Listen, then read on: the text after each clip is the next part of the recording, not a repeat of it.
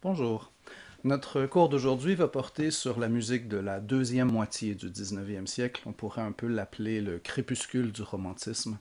On va voir que c'est une époque qui est euh, dominée par la figure emblématique de Wagner, et c'est l'époque dans laquelle euh, le système tonal va être poussé aux limites de sa chromatisation, de son expansion, de son élargissement. Euh, c'est une époque dans laquelle le romantisme lui-même va euh, développer des, formes musicales très consistantes, très grandes. L'espèce de gigantisme des œuvres va être poussé à l'extrême. Euh, et on va voir justement donc comment ça va se manifester autant dans la musique instrumentale que dans la musique vocale. On va d'ailleurs commencer par la musique vocale.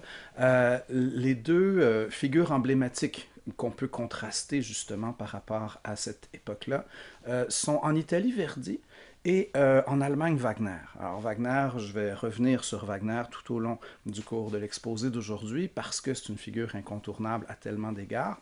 Euh, on va commencer par opposer Verdi et Wagner, puis ensuite on va opposer Wagner à Brahms pour des raisons tout à fait différentes, mais néanmoins complémentaires dans cette espèce de compréhension globale de l'évolution de la musique dans la deuxième moitié du 19e siècle. Donc d'abord, Verdi par rapport à Wagner sont deux compositeurs contemporains, euh, mais qui reflètent tous les deux une appartenance, disons, nationale très différente et une conception musicale très différente aussi. On sait depuis toujours, et c'est un phénomène extrêmement intéressant, que les compositeurs du sud de l'Europe, notamment en Italie, euh, sont reconnus pour concevoir la musique comme étant essentiellement basée sur une ligne mélodique, la plus expressive possible en dessous de laquelle on va créer un accompagnement euh, qui n'est pas généralement euh, très dense ou très complexe. Le but de l'accompagnement est souvent de mettre la mélodie la plus en évidence possible. C'est pas un hasard si c'est en Italie qu'on a inventé l'opéra et le concept même de mélodie accompagnée. Les compositeurs du nord de l'Europe, de, Flandre, d'Allemagne, de Belgique, de Hollande, du nord de la France, etc., depuis la fin de la Renaissance, euh, était plutôt au contraire intéressé à développer une approche plus polyphonique, une approche dans laquelle plusieurs lignes mélodiques vont se superposer, s'enchevêtrer, le thème va circuler d'une voix à l'autre, etc. Donc depuis Josquin des Prés, depuis les franco-flamands, depuis euh, Pachelbel, euh, Jean-Sébastien Bach, etc., on a vu dans le nord de l'Europe des grands maîtres de la polyphonie. Et c'est un peu l'aspect sous lequel on peut comparer Verdi et Wagner. Verdi perpétue cette tradition italienne du bel canto, du beau chant, de la ligne mélodique qui, à travers sa sinuosité, ses inflexions, ses subtilités, va exprimer tellement de choses au niveau de l'émotion des personnages, de leur ressenti, de leur motivation, euh, de leur état de santé, etc., etc. Wagner, par ailleurs, euh, va adopter une optique justement beaucoup plus polyphonique dans laquelle c'est la superposition et la rencontre d'éléments différents qui vient créer cette espèce de complexité globale euh, et qui va donner naissance à une nouvelle version de l'opéra à laquelle Wagner lui-même va donner le nom de drame musical. Donc vous avez au sud, avec Verdi, cette approche davantage dans la lignée de la tradition du bel canto, de la mélodie accompagnée, et dans le nord, avec Wagner, en Allemagne, cette tradition qui va être euh, plus axée sur la polyphonie, notamment avec des euh, mélodies symboliques, des mélodies qui représentent des éléments de l'histoire qu'on va appeler des leitmotifs et que Wagner va combiner et emboîter les uns dans les autres. Parlons d'abord un peu de Verdi. Euh, je vous ai mis dans les extraits un, un, extrait justement du troisième acte d'un opéra qui s'appelle La Traviata. Euh, dans lequel on voit justement euh, la force expressive immense euh, de, des lignes mélodiques, des airs et des duos proposé par Verdi. Dans les années 1850, Verdi va euh, prendre un peu une distance par rapport à ses opéras précédents. Il y avait auparavant beaucoup plus de scènes de foule, de scènes d'ensemble, des histoires à plus grand déploiement, souvent avec des sujets historiques, bibliques, mythologiques, etc. Et dans les années 1850, Verdi euh, revient à des sujets beaucoup plus terre-à-terre, beaucoup plus quotidiens, des personnages auxquels on peut s'identifier, des personnages tirés du monde réel, des situations je dirais pas banales parce qu'elles sont pas banales, mais, mais euh, euh, proche, tiré du monde réel. C'est au fond l'idée la plus importante. Et dans les années 1850, on voit un phénomène comparable euh, si on sort de la musique, si on regarde la littérature, si on regarde les arts visuels, euh, c'est le moment où justement le romantisme est en déclin en peinture et en littérature, et on va s'intéresser à d'autres choses. On va s'intéresser au réalisme, on va s'intéresser au naturalisme, au symbolisme éventuellement, mais euh, c'est pour vous dire que c'est l'époque où justement, notamment les arts visuels, vont prendre une distance par rapport aux grands idéaux romantiques et s'intéresser davantage au quotidien aux personnages tirés du monde réel, à l'étude du monde qui nous entoure, par opposition à l'espèce de glorification spectaculaire des combats entre le bien et le mal représentés par les forces mythologiques mises en scène dans les grandes œuvres romantiques. Donc Verdi, dans les années 1850, va quitter la mythologie et les scènes à grand déploiement pour s'intéresser au monde réel. Euh, il va écrire cet opéra qui s'appelle La Traviata, qui est inspiré d'un roman d'Alexandre Dumas qui s'appelle La Dame aux camélias, qui était un petit peu autobiographique. Et dans La Dame aux camélias et dans La Traviata, on suit l'histoire d'une jeune femme, euh, disons aux mœurs légères. Traviata pourrait se traduire par dévoyée. Donc c'est une courtisane, c'est une dame aux nombreux amants et à la mauvaise réputation, euh, qui euh, souffre d'une maladie des poumons, qui est la phtisie, et elle va mourir jeune. Et elle s'en doute. Et elle est tout d'un coup très amoureuse d'un personnage qui s'appelle Alfredo, et Alfredo est amoureux euh, de Violetta. Violetta, c'est la dame aux camélias. Et donc, euh, ils vont vivre ensemble un amour extrêmement fort et euh, gratifiant. Et jusqu'à ce que le père d'Alfredo décide d'intervenir parce qu'il voit bien que cette relation-là est en train complètement de compromettre la réputation de la famille, que ça va euh, avoir des conséquences désastreuses pour son fils, que même le mariage de sa propre fille commence à être compromis par cette euh, liaison, disons, euh, un peu honteuse qu'entretient son fils. Donc le père d'Alfredo va convaincre Violetta de quitter Alfredo, elle va lui écrire une lettre de rupture et elle lui dit que c'est fini entre eux, etc. Euh, un petit peu plus tard, Alfredo se rend dans une fête et il voit Violetta avec un autre homme. Et il est convaincu d'être absolument trahi, que c'est une dévoyée, que c'est une fille qui a aucun principe, aux mœurs légères, etc. Et il va s'approcher d'elle, puis il lui lance une poignée d'argent au visage, puis il s'en va. Euh, et dans le troisième acte, le moment où se passe cette ère en duo que vous avez dans vos auditions, euh, Violetta est en train de mourir. Elle est très malade, elle est très faible, elle sait qu'elle n'en a pas pour très longtemps. Et euh, sur les entrefaits, le père d'Alfredo l'a averti, l'a comme mis au courant du fait qu'au fond, Violetta l'aimait encore, mais que c'est lui qui est intervenu pour provoquer la rupture entre les deux amants. Alfredo accourt, puis c'est la scène de cette espèce de rencontre après la rupture, après la séparation, après le drame. C'est les retrouvailles extrêmement intenses entre Violetta et Alfredo que vous avez là. Euh, et il y a une, étude de, caractère, une étude de psychologie qui est fascinante à ce moment-là parce que euh, Alfredo sait pas à quel point Violetta est malade, puis il est tellement content de la retrouver, puis il fait plein de beaux projets d'avenir avec elle, puis on va aller vivre ensemble, on va aller à telle place, on va aller à telle place, on va faire ça.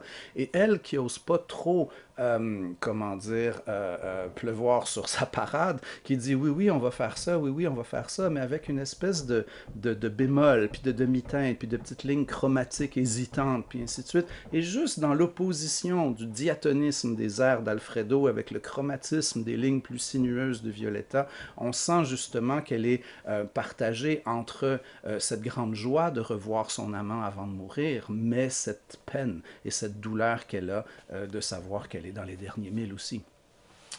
Le romantisme, et surtout le romantisme tardif, est souvent obsédé par la mort. C'est un genre musical dans lequel il y, a, ce questionnement sur la mortalité de l'être humain et, c'est un thème fondamental du romantisme. C'était vrai déjà chez Schubert. Les dernières pages de Schubert sont absolument déchirantes parce que justement, euh, on y voit un peu les méditations d'un artiste qui contemple sa propre mortalité et qui a beaucoup de difficultés à l'admettre. Schubert est très jeune quand il meurt et euh, il y a parfois une espèce d'acceptation résignée, mais à d'autres moments, on sent plutôt une espèce d'incompréhension et de sentiment d'injustice profonde euh, par rapport à, à, cette mort imminente. Donc beaucoup de l'art romantique, peut-être parce que en même temps, euh, dans la société européenne du 19e siècle, la religion connaît un déclin quand même significatif. Il y a toutes sortes d'événements tout au long du 19e. On peut penser à Karl Marx, on peut penser à Darwin, qui vont remettre à la fois en question la religion en tant qu'institution politique et sociale, et aussi en tant que euh, fournisseur de théories pour l'explication du fonctionnement de l'univers.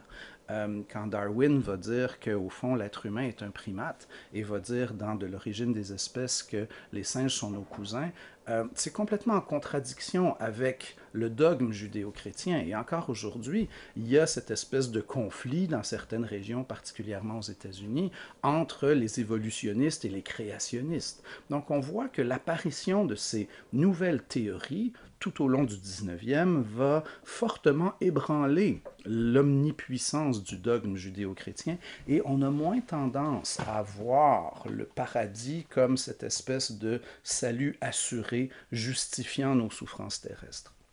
Donc, il y a une méditation sur la mort qui traverse le romantisme, autant chez Schubert que ici dans la Traviata de Verdi, que on va le voir tout à l'heure chez Mahler plus particulièrement.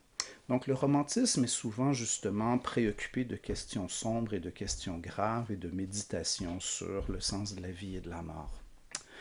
Euh, donc ça c'était pour Verdi. Il est vraiment euh, le représentant de cette grande tradition opératique italienne et il va euh, avoir comme successeur peut-être à la toute fin du 19e, début du 20e siècle, un compositeur comme Puccini, notamment avec Madame Butterfly.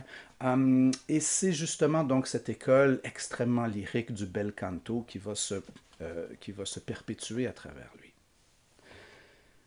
L'approche de Wagner est très différente. Wagner veut réinventer l'opéra, euh, Wagner est en quête de ce qu'il va appeler l'art total, c'est-à-dire un art qui soit à la fois visuel et euh, auditif, musical et littéraire. Il voit l'opéra comme justement une espèce de spectacle multimédia dans lequel différents genres artistiques vont s'intégrer et vont cohabiter.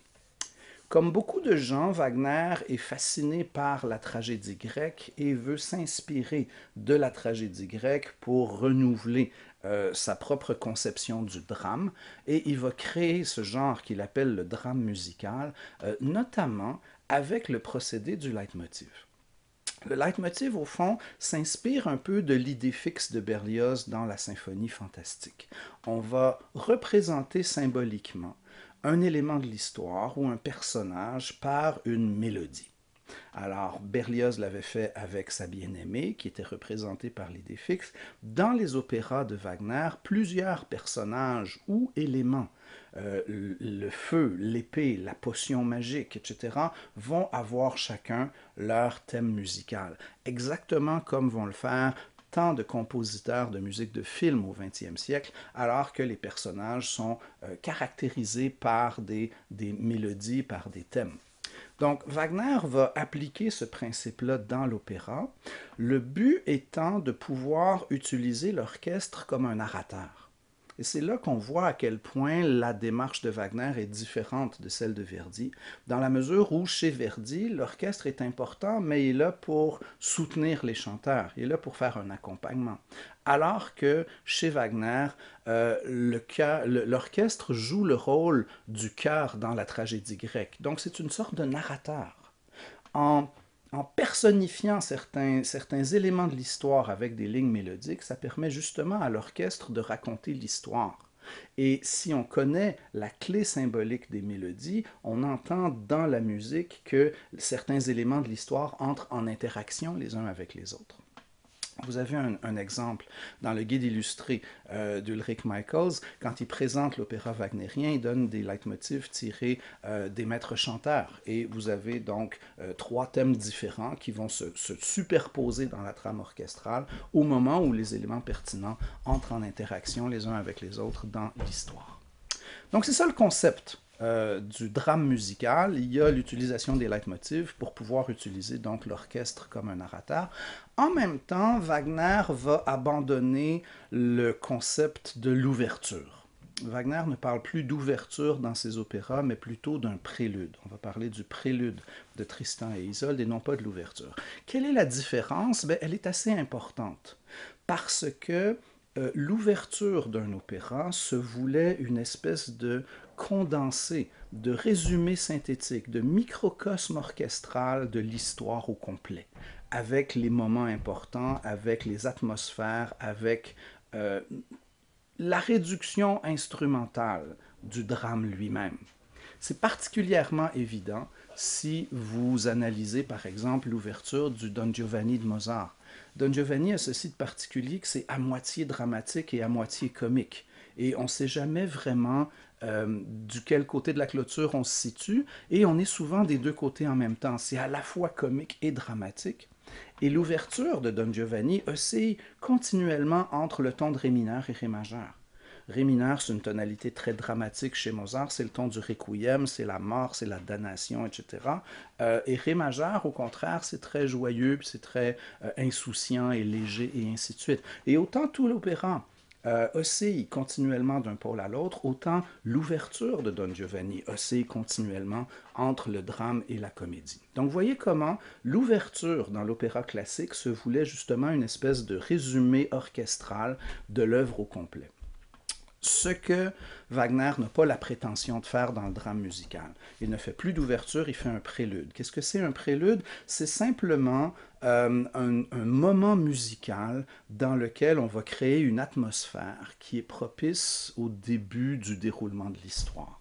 Donc, il n'y a pas cette prétention de réduction synthétique du drame, de l'histoire, etc.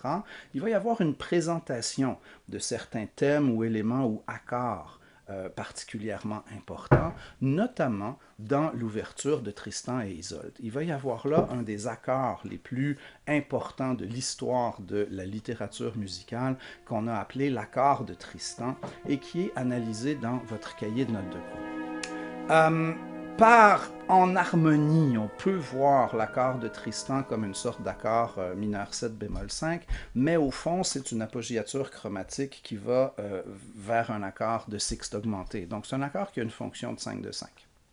Mais le 5 de 5 est en soi un accord extrêmement instable, parce que le 5 de 5 veut se résoudre sur un 5 qui est lui-même un accord instable. Donc le 5 de 5 est comme instable au carré, si on veut. Mais en plus, il ne va pas attaquer son 5 de 5 euh, de façon franche et directe, mais avec une apoggiature chromatique. Donc l'accord instable au carré est en plus introduit par une apoggiature chromatique, le rendant ainsi triplement instable, si vous voulez. Donc, euh, l'accord de Tristan euh, représente justement l'instabilité des personnages eux-mêmes qui sont dans une situation de conflit perpétuel parce que Tristan doit ramener Isolde dans son village où elle va être mariée à quelqu'un d'autre. Et en cours de route, ils vont boire une potion, un filtre d'amour qui va les rendre éperdument et irrémédiablement amoureux un de l'autre. Donc Tristan et Isolde sont attirés un vers l'autre, mais ne peuvent s'aimer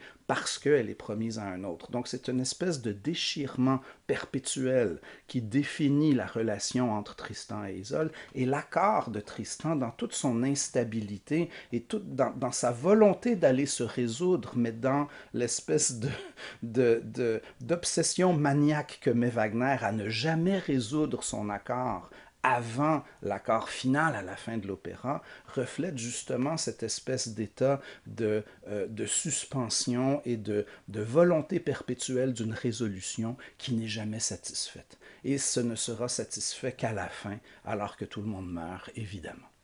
Donc voilà, euh, l'accord de Tristan est un accord célèbre et euh, il représente aussi beaucoup le très haut degré d'instabilité et de chromatisation auquel le langage harmonique est rendu à cette époque-là. Parce que euh, au moment où l'accord est installé, il y a cette apoggiature chromatique qui va ne se résoudre qu'à la toute fin de la mesure avant qu'on passe à l'accord suivant. L'apoggiature, la note non harmonique, va durer à la limite cinq fois plus longtemps que la note réelle. Sur une mesure assez suite, on a cinq croches d'apoggiature chromatique pour une croche de note réelle. Et euh, on voit justement que toutes les voix bougent de façon chromatique dans la conduite des voix. Euh, ça peut presque faire penser à ce que faisait Gesualdo à la fin du 16e siècle avec des madrigaux comme Morolasso dans lesquels toutes les voix bougeaient de manière chromatique. C'est un phénomène qu'on a déjà observé, notamment dans le quatrième prélude de Chopin, le prélude en mi mineur, où toutes les voix bougent de façon chromatique pour aller éventuellement se résoudre vers des accords qui, eux, ont des fonctions tonales fortes, mais les enchaînements se font par conduite des voix par euh, mouvement conjoint et chromatique dans la conduite des voix, plutôt que par la logique du cycle des quintes ou de l'harmonie tonale fonctionnelle.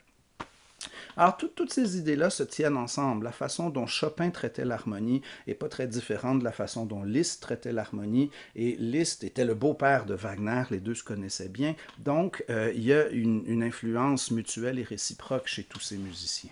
Mais retenez que d'une part, euh, le style classique viennois était beaucoup diatonique et le euh, romantisme tardif est très chromatique. Et on a cette espèce de gradation du diatonisme vers le chromatisme, d'un langage qui valorise les fonctions tonales fortes, 1, 4, 5 de 5, 5, vers un langage qui va davantage utiliser des fonctions tonales ambiguës, 2, 3, 6, 7, accords de septième diminué, utilisation de l'enharmonie, séquence modulante, etc. Donc le langage harmonique viennois classique et clair et diatonique, et le langage du romantisme tardif est ambigu et chromatique. Et cette ambiguïté chromatique-là est merveilleusement représentée par l'accord de Tristan et par la conduite chromatique des voix de part et d'autre de cet accord de Tristan. Euh, vous remarquerez en écoutant le, prélude de Tristan et Isolde l'omniprésence des gestes cadentiels de type rompu. On a à tout bout de champ des accords qui sont clairement des fonctions dominantes, puis là on s'attend à ce que ça aille sur un, mais non, Wagner s'en va sur un sixième degré ou bien 6 euh, ou bémol 6, parce qu'avec le mode mixte, il peut aller autant sur le sixième degré du majeur que le sixième degré du mineur, et euh, la pièce continue et continue, etc. Et on n'a pas de résolution. Même à la fin du prélude, la pièce euh, s'essouffle et, s'arrête plus qu'elle ne se résout sur quoi que ce soit. Comme je disais, c'est vraiment à la fin de l'opéra qu'il va y avoir une résolution, mais le prélude lui-même nous laisse dans cet état de suspension qui est tout à fait propice au début de l'histoire, mais qui, encore une fois, euh, ne va pas résoudre l'harmonie où que ce soit. Hum, Wagner représente euh, une, facette particulière du romantisme parce que, surtout dans la deuxième moitié du 19e siècle, on voit apparaître la coexistence de deux tendances qu'on pourrait sommairement résumer de la façon suivante, c'est euh, l'avant-garde versus la tradition. Et c'est euh, une espèce de, de combat incessant qui va de plus en plus s'installer dans l'art occidental en général. On va avoir euh, certains artistes qui vont être intéressés à s'inspirer d'éléments tirés de la tradition et d'autres qui au contraire vont plutôt avoir tendance à faire table rase du passé pour inventer des choses radicalement nouvelles. Donc cette espèce de dichotomie, de dualité entre, euh, entre euh, tradition et avant-garde est déjà assez présente dès les années 1860-70 et c'est un peu dans cette optique-là qu'on peut présenter euh, l'espèce de conflit, si on veut, entre Wagner et Brahms. Parce que Wagner, qui est euh, obsédé par cette idée de recherche de l'œuvre d'art totale, de la réinvention de l'opéra, de la chromatisation extrême du langage, euh, Wagner est un peu un control freak. Il va dessiner lui-même la salle euh, de concert dans laquelle il veut que ses opéras soient présentés. Wagner a eu une chance inouïe. Il est tombé sur un, un chef d'État qui était le prince Louis II de Bavière, qui est un des personnages les plus fantasques et flamboyants de l'histoire de l'aristocratie européenne. Et Louis II de Bavière euh, donnait tout ce qu'il voulait à Wagner. Il le finançait presque sans limite. Il faisait construire les salles d'opéra à Bayreuth. Et donc, Wagner va vraiment profiter de ce mécénat pour pousser ses idées créatrices le plus loin possible. Donc, Wagner contrôle tout. Il compose la musique, il compose, il écrit les paroles, il fait le livret, euh, il dessine la salle de concert, il va créer certains instruments. Il n'était pas content de la façon dont sonnaient les tubas à son époque. Il va inventer le tuba wagnérien pour être capable de, de, jouer un rôle spécifique dans la section des cuivres et ainsi de suite. Donc cette recherche de l'art total fait en sorte que Wagner va significativement s'éloigner euh, de, évidemment, l'opéra classique, l'opéra à numéro, mais même de l'opéra romantique. Il y a une, réinvention de l'opéra chez Wagner euh, qu'on peut facilement percevoir justement en comparant Wagner et Verdi.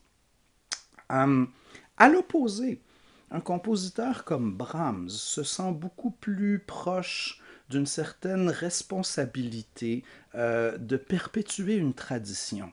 On a parfois qualifié Brahms du troisième B, les deux premiers étant Bach et Beethoven. Donc c'est évidemment une lignée très noble et très prestigieuse. Il y a une certaine forme de pertinence dans cette euh, façon de qualifier Brahms, dans la mesure où il est justement très sensible à l'héritage polyphonique de Bach et à euh, cette combinaison du sens de la forme et du développement motivique et de la recherche d'intensité dramatique qu'on va également trouver chez Beethoven. Donc, on, peut dire jusqu'à un certain point que Brahms essaie de faire la synthèse de Bach et de Beethoven. Euh, les symphonies de Brahms vont à plusieurs égards perpétuer un modèle classique. C'est des symphonies en quatre mouvements, dont le premier mouvement reflète en gros les traits dominants de l'allegro de sonate, un mouvement lent, il y a euh, des mouvements ternaires, un rondeau, etc. Donc au niveau de la carrure, au niveau de l'organisation formelle, euh, les symphonies de Brahms sont dans la lignée de la symphonie classique. On retrouve également cette recherche de développement motivique euh, qu'on observait bien sûr chez Beethoven et chez Haydn. On trouve aussi un sens de la polyphonie euh, qu'on pourrait comparer à celui de Bach. On retrouve ça dans les sonates de, Brahms aussi. C'est la raison pour laquelle j'ai mis comme écoute euh, un, mouvement d'une sonate pour violoncelle et piano. J'avais pas beaucoup de répertoire de violoncelle dans les écoutes. Et en même temps, c'est une, très belle fugue qui, euh, qui, clôt cette sonate pour violoncelle et piano en mi mineur de Brahms. Et ça démontre justement à la fois le penchant monothématique et imitatif qui dénote une écoute attentive de la musique de Bach, mais en même temps une recherche dramatique euh, et l'intégration dans une forme sonate classique euh, imputable à Beethoven. Il y a un peu peut-être de euh, l'esprit de la sonate de la, de, la sonate opus 110 de Beethoven avec justement la fugue. Donc c'est un peu comme si Brahms vient poursuivre les, les, préoccupations et les intérêts de Beethoven dans sa dernière période pour l'intégration du monothématisme et du contrepoint imitatif à l'intérieur du modèle formel de la sonate classique.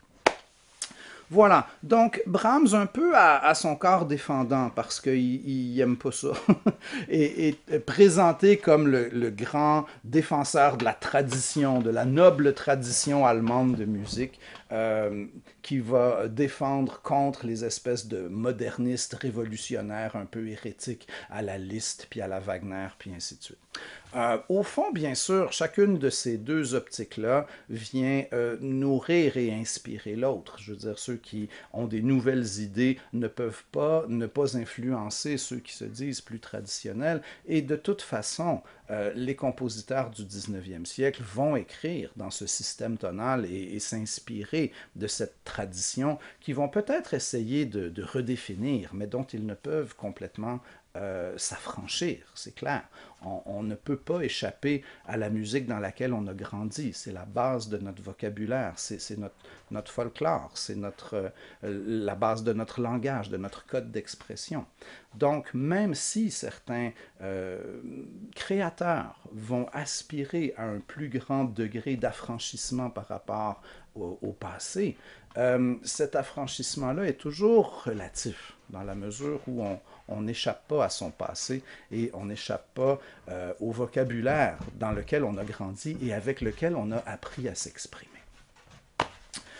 Voilà, donc ça situe un peu nos trois grands personnages de Verdi, Wagner, Brahms au niveau de l'évolution de la musique, notamment de l'opéra, bel canto italien versus drame musical wagnérien, euh, au niveau même de euh, la conception de l'œuvre d'art, avant-garde à la recherche de l'œuvre d'art totale, versus euh, la, la, préservation d'une certaine forme de tradition, de symphonie en quatre mouvements, de carrure plus classique et euh, en termes de volonté de perpétuer l'héritage beethovenien euh, dans, la deuxième moitié du 19e siècle. C'est un peu dans cette optique-là qu'on peut envisager nos trois compositeurs.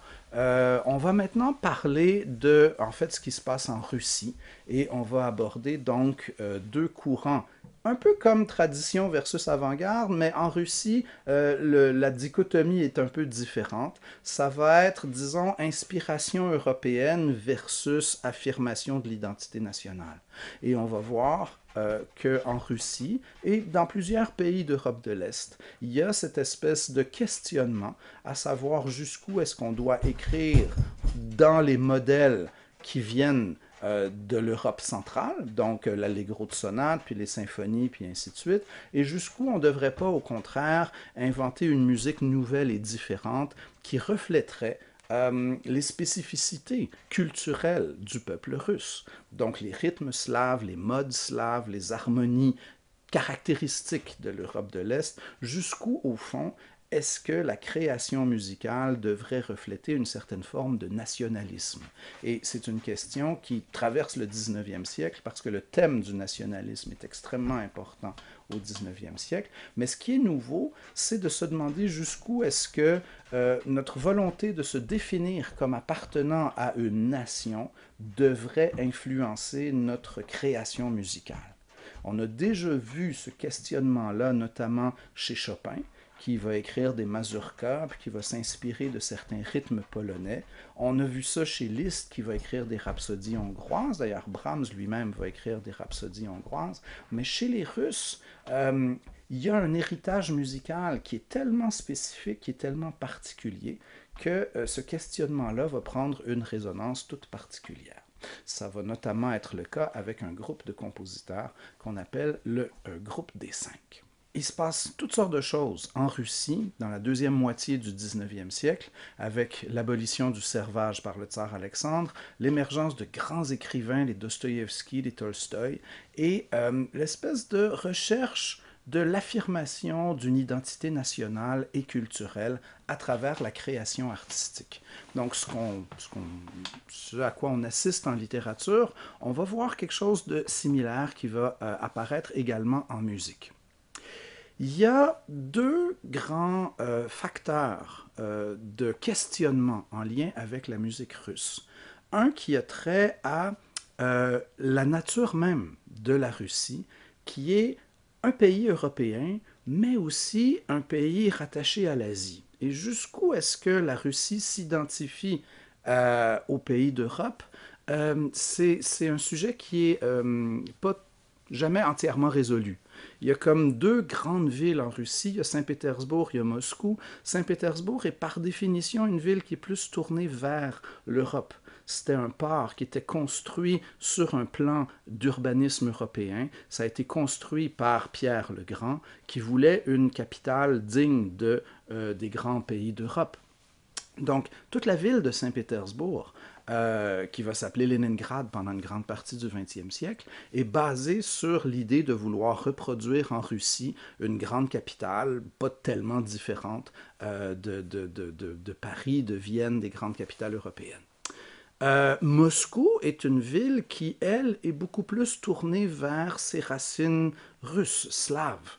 Et donc, il y a ces deux pôles dans l'art russe. Jusqu'où est-ce qu'on va s'inspirer de l'art qui vient du reste de l'Europe, de l'art occidental, appelons-le comme ça à défaut d'un meilleur terme, et jusqu'où est-ce qu'au contraire, on va pas plutôt chercher à s'inspirer de ce qui est spécifiquement slave dans l'âme russe au niveau des rythmes, au niveau des harmonies, au niveau des thèmes, du folklore, des contes, des légendes, etc. etc. Donc, il y a euh, cette espèce de, de tiraillement-là, Europe versus âme slave, en même temps, euh, il y a une génération de musiciens qui apparaît dans les années 1860 et qui va questionner le bien fondé d'une formation académique. Et ça, c'est intéressant parce que ça annonce une certaine forme de modernisme l'art moderne va beaucoup questionner l'art académique et la façon traditionnelle d'enseigner et la formation donnée dans les conservatoires et les écoles des beaux-arts, et etc. On va voir très souvent, surtout en littérature musicale 4, mais l'art moderne comme euh, s'opposant à une certaine forme de tradition. On va voir Debussy qui fait exprès de faire des quintes parallèles, alors que ça fait des siècles que c'est considéré comme une faute d'écriture. Donc cette espèce d'esprit d'anti-académisme, euh, de, remise en question des principes euh, enseignés dans les grandes écoles, euh, s'affirme très tôt dans l'art russe, dans la musique des compositeurs russes, et ça génère deux points de vue un peu contradictoires. D'une part, il y a ceux qui vont y voir un gage d'authenticité. C'est quelque chose qui remet en question l'art académique et les formules enseignées dans les écoles pour se tourner davantage vers l'art populaire.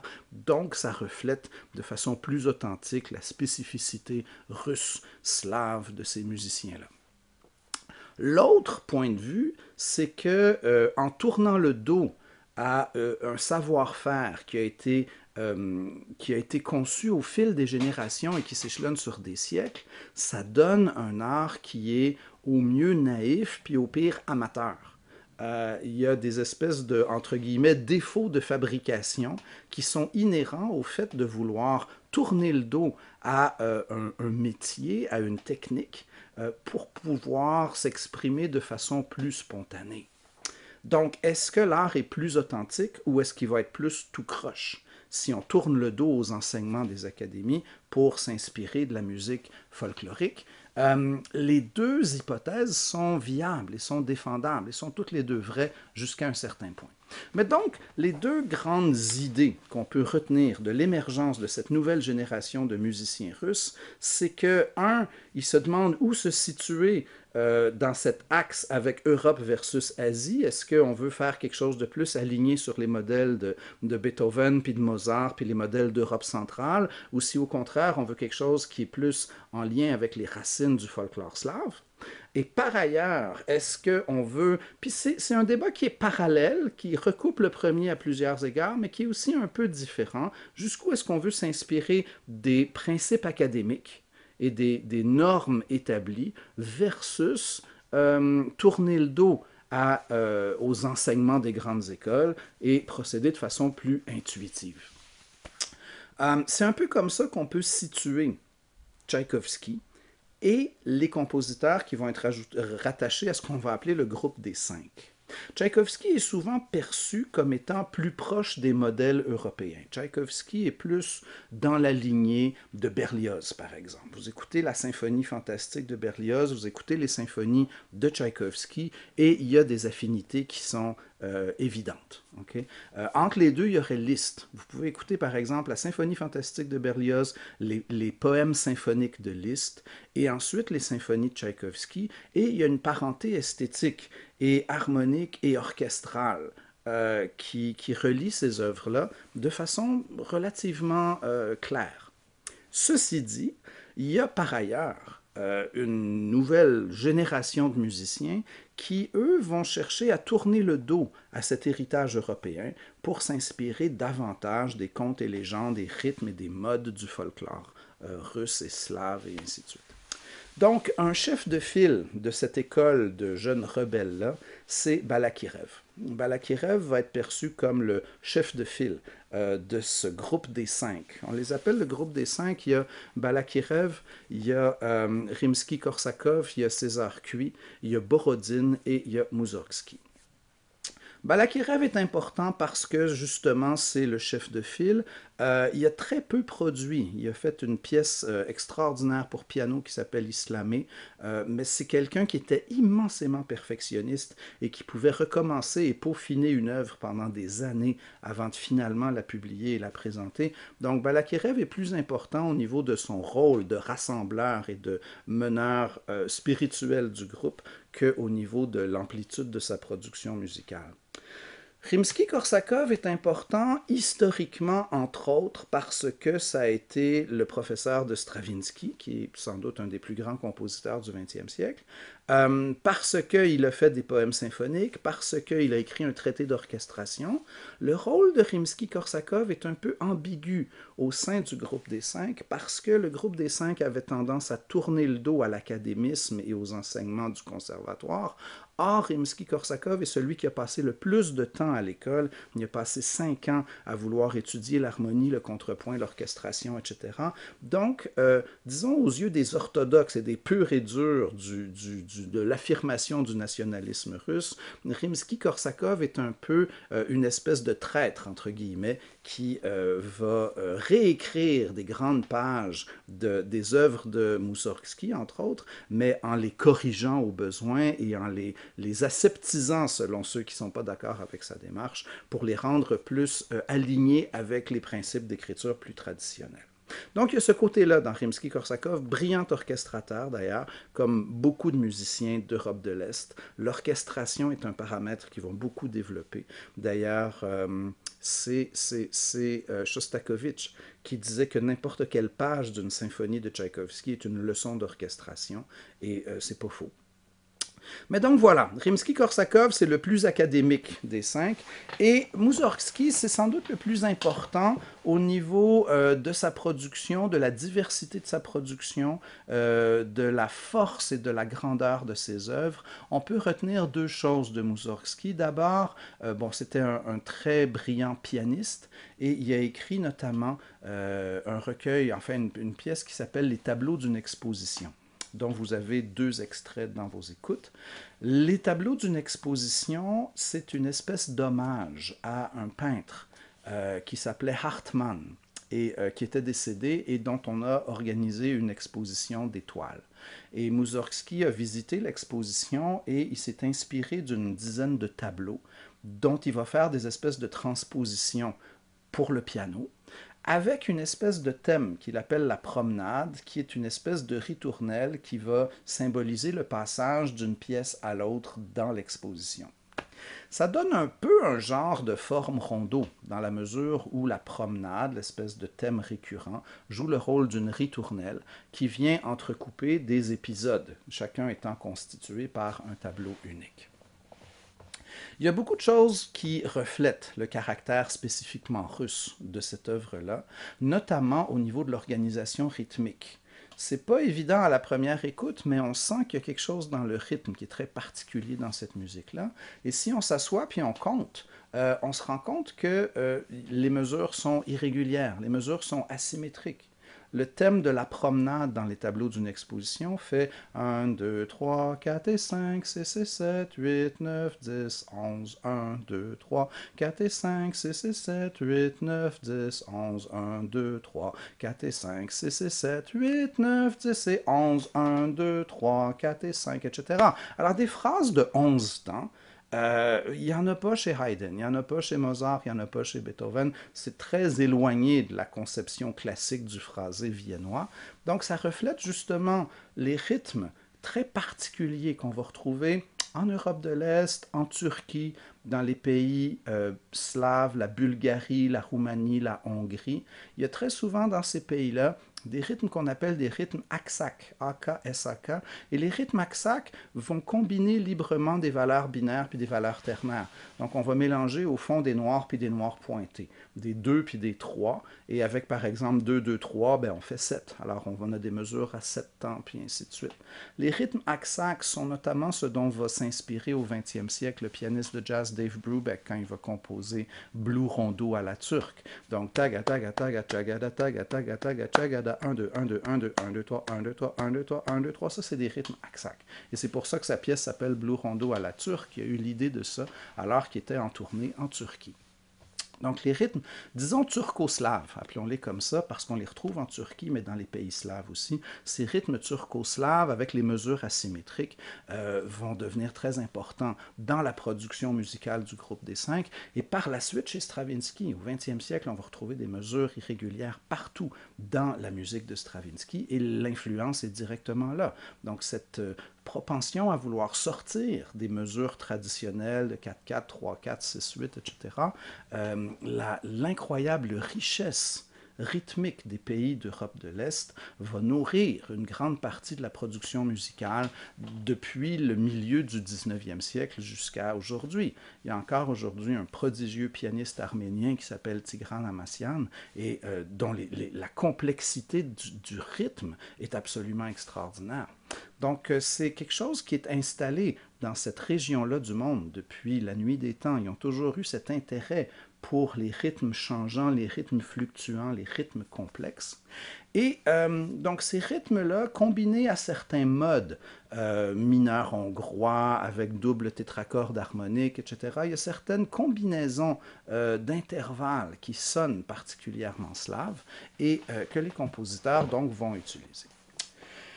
Je vous ai mis la version, en fait, l'enregistrement de Horowitz des tableaux d'une exposition. C'est un enregistrement qui date, euh, qui griche, la qualité sonore est discutable, mais l'interprétation est, extraordinaire parce que, euh, surtout dans votre deuxième extrait qui s'appelle Gnomus, le gnome, euh, Horowitz fait preuve d'une violence, d'une intensité, d'une agressivité dans son jeu euh, qui fait souvent défaut, je trouve, dans des interprétations plus conventionnelles et plus récentes.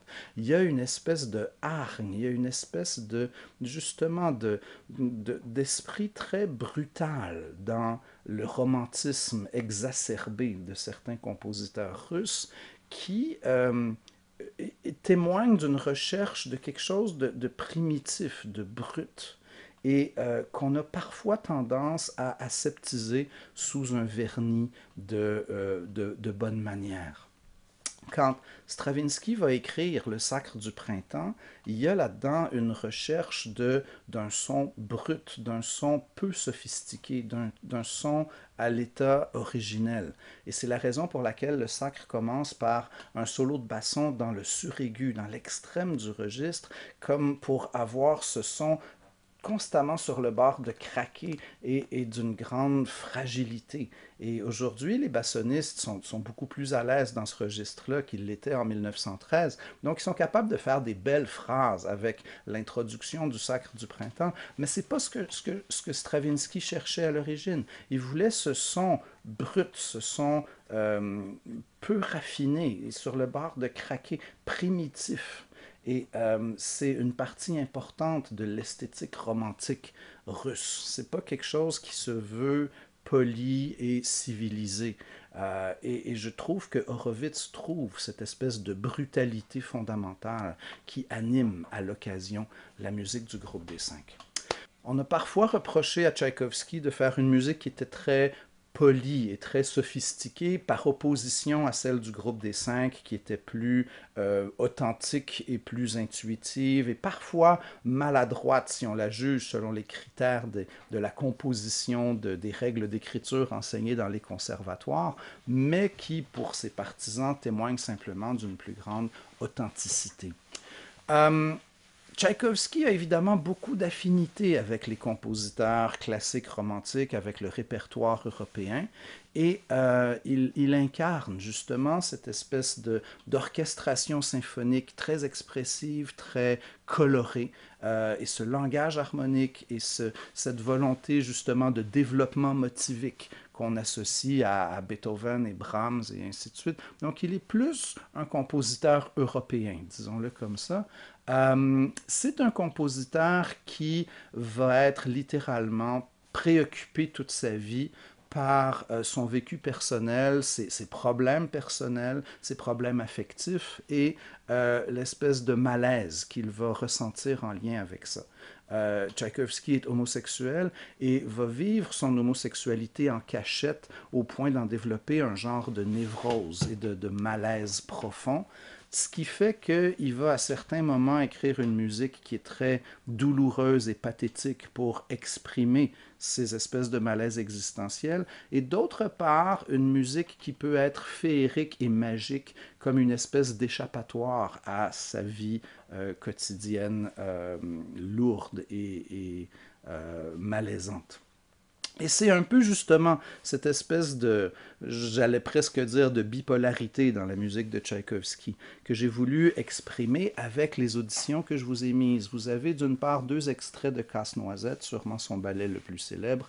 Généralement, ça tombe en fin de session à l'automne et ça arrive à peu près dans le temps des fêtes. Donc c'est tout à fait approprié d'écouter Casse-Noisette, un peu comme la symphonie fantastique de Berlioz arrive à peu près à l'époque de l'Halloween. Fait c'est tout à fait de circonstance aussi. Mais donc, ces petits extraits extrait de Casse-Noisette euh, nous rappelle que euh, l'enfance et la féerie et la magie est un thème fondamental chez les romantiques. Alors la nostalgie de l'enfance que Schumann avait déjà traité dans ses scènes d'enfance, dans ses miniatures pour piano, euh, Tchaïkovski va magnifiquement synthétiser ce thème-là dans le ballet qu'est Casse-Noisette. Et j'en profite pour mentionner que le ballet va s'affirmer dans la deuxième moitié du 19e siècle comme un genre musical en soi et à part entière. Et Tchaïkovski fait partie de l'émergence du ballet avec Gisèle, avec le Lac des Cygnes, avec Casse-Noisette, qui va dorénavant euh, être un genre symphonique en soi. Bien sûr, il y avait du ballet avant Tchaïkovski, mais il n'y avait pas cette recherche de concevoir l'ensemble de la partie orchestrale comme une œuvre musicale cohérente et unifiée. On faisait un ballet par numéro et des fois on réutilisait des airs préexistants, puis on faisait une espèce de melting pot, de mosaïque de tout ça, puis ça donnait ce que ça donnait.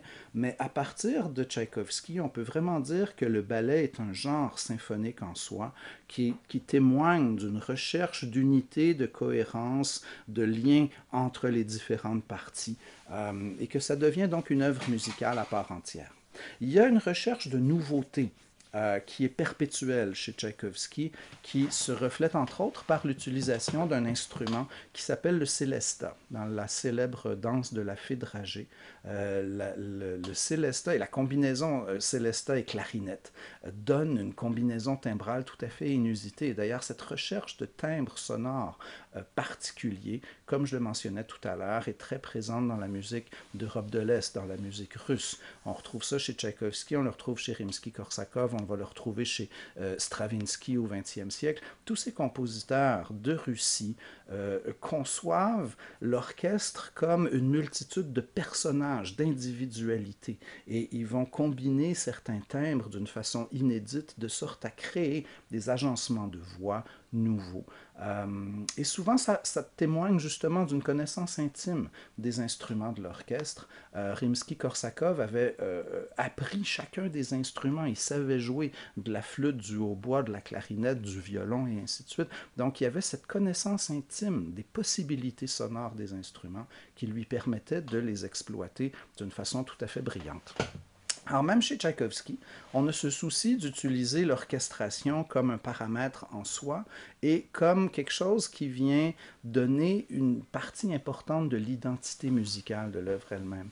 La danse de la fée dragée, si on enlève le célesta puis la clarinette, ça devient complètement autre chose. Donc le timbre, le paramètre du timbre devient absolument central dans la définition même de l'idée musicale. C'était pas le cas au baroque, par exemple. À l'époque baroque, l'idée musicale était associée à la mélodie, le contrepoint, la basse continue, la progression d'accords, etc. Mais le timbre était un facteur relativement secondaire, ce qui fait qu'on pouvait accompagner une œuvre avec le luth, avec le clavecin, avec le clavicorde, avec l'orgue si c'était une sonate d'église. Il y avait une interchangeabilité dans les instruments à l'époque baroque et même encore relativement à l'époque classique. Mais quand on arrive au 19e, le timbre est incontournable dans la création de l'identité musicale d'un thème, d'une idée, d'une œuvre. Et c'est très évident notamment dans la musique de Tchaïkovski et des compositeurs russes en général. Donc, je vous ai mis le premier mouvement de la sixième, la dernière symphonie de Tchaïkovski, créée quelques jours ou semaines à peine avant sa mort. Euh, c'est une œuvre euh, très dramatique. Ça commence tout doucement, puis il y a cette espèce d'autour d'une minute de, d'éclairs, de, de, coups de tonnerre fracassants, euh, et, on tombe dans le drame. Et les œuvres précédentes de Tchaïkovski finissaient avec une espèce de, de tournoiement euh, énergique vers une espèce de finale joyeuse. Et dans le cas de la sixième symphonie, il n'y a pas cette finale joyeuse à la fin de l'œuvre. Au contraire, après une animation croissante vers le milieu de la symphonie, on va finir avec un requiem. Donc, Tchaïkovski aurait écrit que cette symphonie-là suivait un programme précis, mais il ne voulait pas dire quel était le programme. Donc, il y a de nombreuses euh, hypothèses, il y a euh, de nombreuses spéculations sur qu'est-ce que a voulu dire Tchaïkovski avec sa sixième symphonie, de quoi il s'est inspiré pour faire ça, etc. Euh, selon toute vraisemblance, c'est quelque chose de très autobiographique et ça reflète justement l'espèce de, de, de, de problème presque insoluble d'angoisse, d'anxiété perpétuelle qui était liée euh, au fait de vouloir cacher son homosexualité, de l'impossibilité de le cacher indéfiniment. Euh, il y a une espèce de triple hypothèse qui entoure euh, la mort de Tchaïkovski. il est mort du choléra. Pendant une épidémie de choléra. Donc, la première hypothèse, c'est que c'est une mort accidentelle. Il y a la thèse du suicide qui aujourd'hui commence à gagner de plus en plus de popularité. Euh, apparemment, Tchaïkovski, peut-être impliqué dans des scandales qu'il n'était plus capable de cacher, savait qu'il euh, y avait des, immenses problèmes par rapport à sa vie privée qui allaient être euh, révélés au public et il se serait suicidé en buvant volontairement de l'eau qui n'avait pas été bouillie. Je ne le sais pas, on ne le saura jamais. L'autre hypothèse qui est plus fantaisiste, c'est que justement, ayant été impliqué dans des scandales homosexuels avec des personnages en vue, il aurait été assassiné. Ça, on n'y croit pas. Ah, mais c'est pour vous dire qu'on ne sait même pas vraiment euh, quelles sont les circonstances exactes qui entourent la mort de Tchaïkovski mais euh, il savait que ça allait plus ou moins bien. Et euh, apparemment, ben, la sixième symphonie témoignerait de cette espèce de trouble intérieur qui était le sien. Voilà, donc c'est la lumière et l'obscurité. Hein. La lumière dans Casse-Noisette, la magie, la féerie, l'enfance, etc. Et l'obscurité de cette sixième symphonie qui est extrêmement euh, tragique, lyrique, dramatique et qui va finir par un requiem. Donc vous avez avec euh, ces courts extraits quand même une idée assez importante, assez précise de ce qui se passe en Russie dans la deuxième moitié du 19e siècle. Euh, il nous reste deux compositeurs qui viennent clore notre étude du romantisme musical. Ce sont Richard Strauss et Gustave Mahler. Et on peut en fait les associer à ce qu'on pourrait qualifier de post-romantisme. Pourquoi le post-romantisme? Parce qu'ils vont continuer d'écrire dans un style qui est comparable au langage harmonique de Wagner, mais après la mort de Wagner et alors qu'il y a d'autres alternatives qui commencent à se profiler. Dans les années 1890, on a déjà euh, Debussy qui est en train d'écrire dans une harmonie euh, très différente de ce qui est enseigné dans les conservatoires. Il va utiliser le parallélisme dans les voix, il va écrire selon un style qu'on qualifie d'impressionniste, mais il y a déjà donc ce modernisme musical qui, qui s'installe de façon significative dans les années 1890, mais il y a aussi une grande faction de compositeurs qui vont continuer d'écrire dans le style wagnérien. Et donc, disons, cette survivance, cette persévérance du romantisme dans les années 1890, 1900, 1910, on pourrait généralement qualifier euh, ce phénomène-là de post-romantisme. Alors, vous en avez deux de ces compositeurs, Richard Strauss et Gustave Mahler. Remarquez que euh, Strauss va vivre très longtemps. Richard Strauss, il meurt en 1949 quatre ans après la fin de la Deuxième Guerre mondiale. C'est un compositeur romantique qui meurt quatre ans après la bombe atomique sur Hiroshima, puis ainsi de suite. Il, est dans l'ère moderne, euh, mais il est encore techniquement un compositeur romantique. Euh, Strauss et Mahler reflètent peut-être deux facettes du post-romantisme. Ils ont des similarités. Ils écrivent des œuvres immenses, majestueuses, flamboyantes pour des très gros orchestres avec des espèces de mélanges de choses extrêmement sophistiquées et d'influences folkloriques populaires et ainsi de suite. Euh, ils vont s'inspirer de toutes sortes de programmes littéraires. Euh, Strauss fait des poèmes symphoniques. Euh, Mahler va faire des symphonies, mais euh, il va y avoir justement donc cette espèce de chromatisation du langage, cette insistance sur les degrés faibles, cette ambivalence tonale dont je parlais tout à l'heure en lien avec Wagner. Ce qui les distingue, c'est peut-être qu'on a chez Richard Strauss un caractère plus affirmé, plus volontaire, plus triomphant, alors que Mahler est plutôt l'espèce de génie tourmenté et introverti et euh, méditatif et ainsi de suite. On, avait, on pourrait peut-être faire le parallèle avec euh, Liszt et Chopin. Liszt qui est plus euh, extraverti et Chopin qui est plus méditatif. Paganini qui était plus extraverti, John Field plus méditatif, euh, Richard Strauss est plus extraverti dans sa musique et Mahler est sans doute plus méditatif, plus introverti. Quoique il y a des choses très flamboyantes aussi chez Mahler. Mais euh, les extraits que je vous ai euh, proposés semblent refléter ceci. avec Richard Strauss, on a l'apogée, on pourrait dire, à la fois l'apogée et la fin euh, du poème symphonique. C'est un genre qui est un peu hérité de la tradition euh, de la symphonie à programme, telle que Berlioz l'avait imaginé.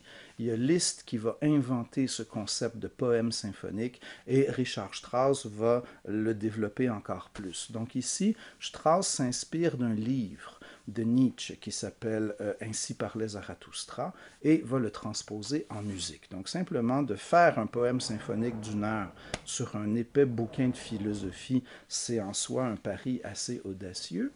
Euh, mais vous avez donc dans ces deux extraits-là, je vous ai mis le premier et le quatrième mouvement d'Ainsi parlait Zarathustra, euh, une bonne idée de l'esthétique que Strauss va développer. Vous remarquerez dans les premières mesures, le début de l'œuvre, euh, immensément célèbre depuis notamment son utilisation par Stanley Kubrick dans le film 2001, L'Odyssée de l'espace, le fameux ta ta ta ta bam bam bam bam etc.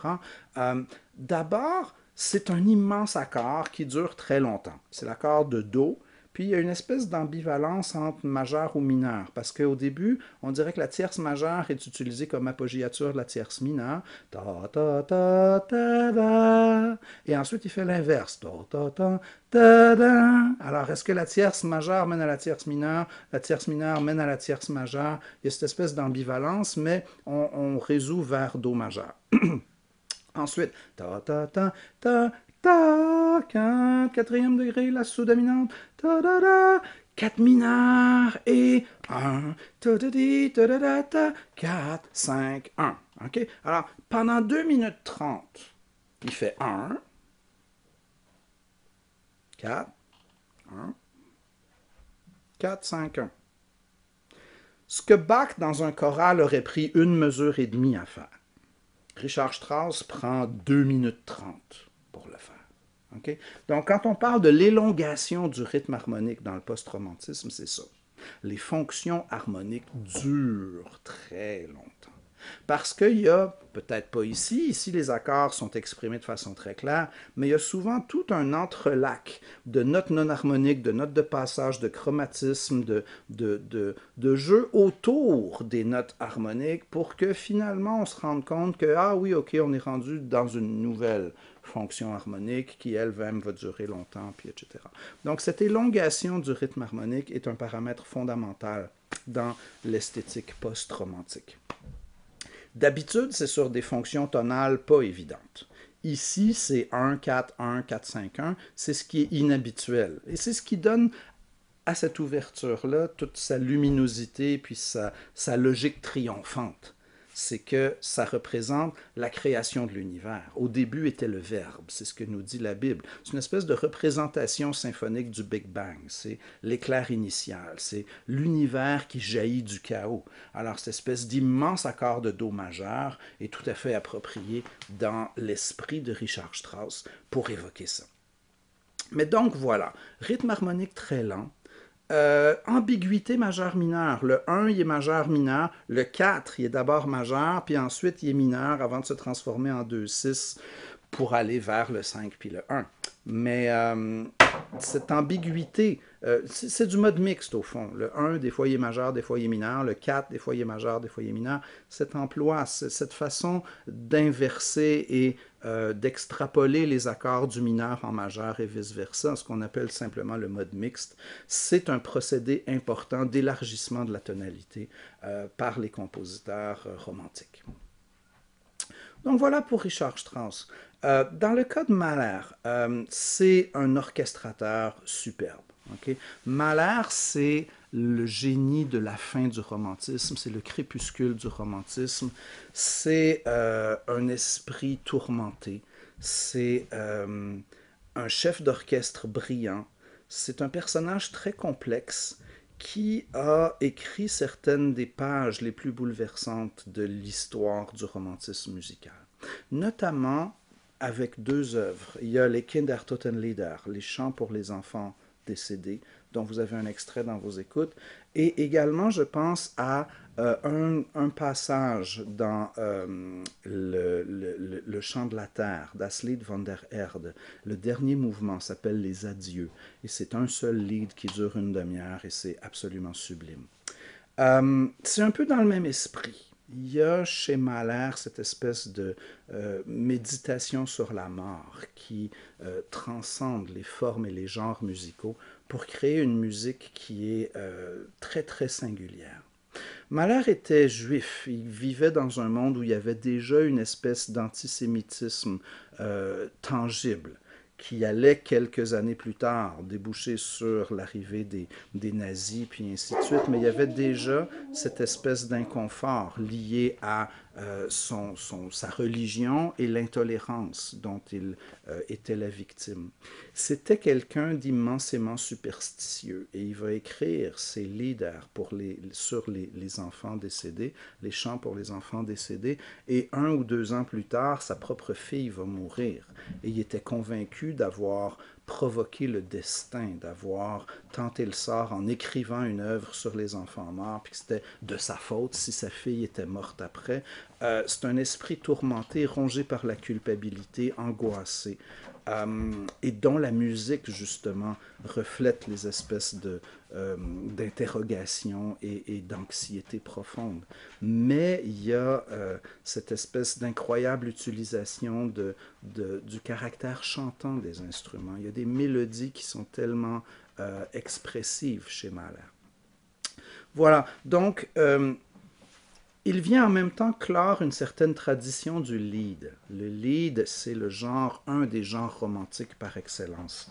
Au niveau de l'orchestre, on a parlé de la façon dont Berlioz avec la symphonie fantastique va inspirer Liszt avec le poème symphonique, qui lui-même va inspirer Tchaïkovski, puis les, les symphonies à programme. Mais au niveau de la musique vocale, ça commence bien sûr avec Schubert, qui littéralement invente le genre du lead au tout début du romantisme.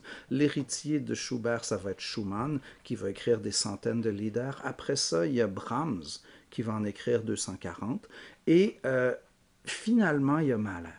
Et Mahler va souvent accompagner ses leaders, non pas au piano, mais avec l'orchestre et ça prend une espèce de dimension complètement différente parce que, alors que justement le lead chez Schubert, c'était quelque chose de tout à fait intime, c'était de la musique de salon, c'était de la musique qu'on faisait pour soi dans, dans un décor très, très euh, intime et, fermé. Dans le cas du lead de Mahler, il y a cette espèce de... Euh, de réflexion, d'aperçu d'éternité, à cause justement de cette trame orchestrale qui est euh, euh, grandiose, qui est immense, et en même temps, en conjuguant ça avec le rythme harmonique très lent, il y a justement cette espèce d'impression de temps suspendu, de temps qui flotte, de contemplation devant l'éternité, euh, qui donne à la musique de Mahler un caractère très très singulier. Il va utiliser la harpe, euh, il va utiliser les instruments à vent, euh, il n'a pas peur, Mahler, d'avoir un orchestre de 120 musiciens et d'en utiliser deux ou trois pendant de très longs passages, ce qui fait qu'il y a des contrastes très marqués entre les sections plus denses puis les sections euh, justement plus dénudées au niveau instrumental. Il y a une très grande variété au niveau des, euh, des types d'accords employés, au niveau des types de, de rencontres timbrales, quand je mentionnais que c'était un des grands orchestrateurs de l'histoire du romantisme.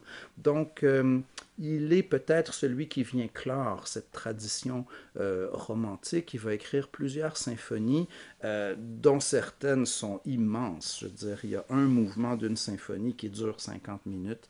Euh, sa sixième symphonie, dite la symphonie des mille, était écrite pour double orchestre et double chœur. Donc, c'est pas tout à fait 1000 personnes, mais c'est au moins 600 personnes pour interpréter son œuvre. Ça prend deux chœurs plus deux orchestres, donc faites le calcul. Et euh, voilà, donc ça, ça reflète à la fois le gigantisme auquel aspire le romantisme, cette valorisation des extrêmes qui a toujours été la particularité du romantisme et qui euh, représente au fond la fin d'une tradition, parce que juste après les symphonies de Mahler, c'est la Première Guerre mondiale, puis l'Europe va sombrer dans l'autodestruction, le chaos, l'anarchie, et on n'aura plus jamais après ça l'occasion d'avoir les budgets qui vont justifier la création d'une symphonie pour 600 musiciens. Après la Première Guerre mondiale, on va trouver des œuvres pour 8, 10, 12 musiciens, mais cette espèce de gigantisme extraordinaire du post-romantisme euh, va pas survivre à la Première Guerre mondiale. Donc euh, voilà, ça fait un petit peu le tour. Il y a cette espèce de fondu enchaîné entre la fin du romantisme, l'émergence du modernisme, avec l'impressionnisme de Debussy, avec le, post-romantisme, avec l'expressionnisme qu'on va associer au Pierrot lunaire de Schoenberg en 1912. C'est pas tellement loin après les Kindertotenlieder de Mahler. Mahler écrit ses, ses chants pour les enfants décédés en 1904 et huit ans plus tard, Schoenberg va écrire le Pierrot lunaire. Donc on est vraiment aux confins du système tonal, dans une tonalité très élargie, très chromatisée, dans laquelle se pressent déjà l'arrivée de la musique atonale. Euh, c'est la fin d'une tradition aussi, de la grande tradition symphonique romantique. C'est la fin d'une ère. La Première Guerre mondiale va vraiment marquer la fin d'une domination mondiale des puissances européennes. C'est la dernière fois que euh, l'Angleterre et l'Allemagne vont se disputer la suprématie mondiale. Ils vont un peu s'autodétruire mutuellement et après ça, ça va être euh, les États-Unis, l'URSS, différents blocs géopolitiques vont émerger, différentes musiques aussi. La musique américaine va émerger au 20e siècle, notamment le jazz, la musique afro-américaine et ainsi de suite. c'est un petit peu la fin de l'hégémonie de l'Europe qu'on peut associer à cette tradition post-romantique qui va encore fleurir dans les toutes dernières années à la fin de la première, juste avant le début de la Première Guerre mondiale. Euh, mais c'est vraiment un monde qui est à la, à la croisée des chemins et euh, avec euh, les guerres mondiales, puis ce qui s'en vient, on s'en va vers un monde musical complètement différent dans lequel il n'y aura plus jamais cette espèce de, de cohérence stylistique on peut parler de la musique du 19e siècle comme euh, un, corpus relativement cohérent, qui commence avec Beethoven puis qui finit avec Mahler. Euh, mais on ne peut pas parler de la musique du 20e siècle, c'est impossible. Il y a des milliers de musiques différentes qui coexistent, qui cohabitent, qui se contredisent parfois.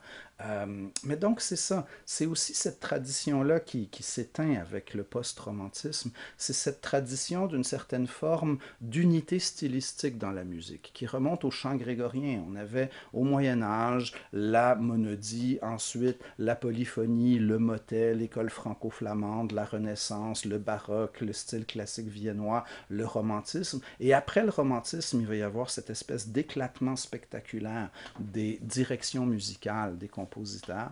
Euh, mais c'est la raison pour laquelle c'est approprié de, clore un chapitre avec Mahler. C'est la fin du romantisme et, comme je le disais un peu aussi, euh, la fin de l'hégémonie mondiale européenne.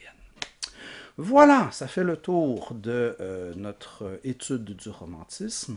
J'espère que ça vous a plu et je reviendrai fort prochainement avec d'autres compositeurs et d'autres œuvres et d'autres approches musicales. Euh, sans doute dans une autre session, mais on verra. Alors d'ici là, portez-vous bien et bonne écoute. Au revoir.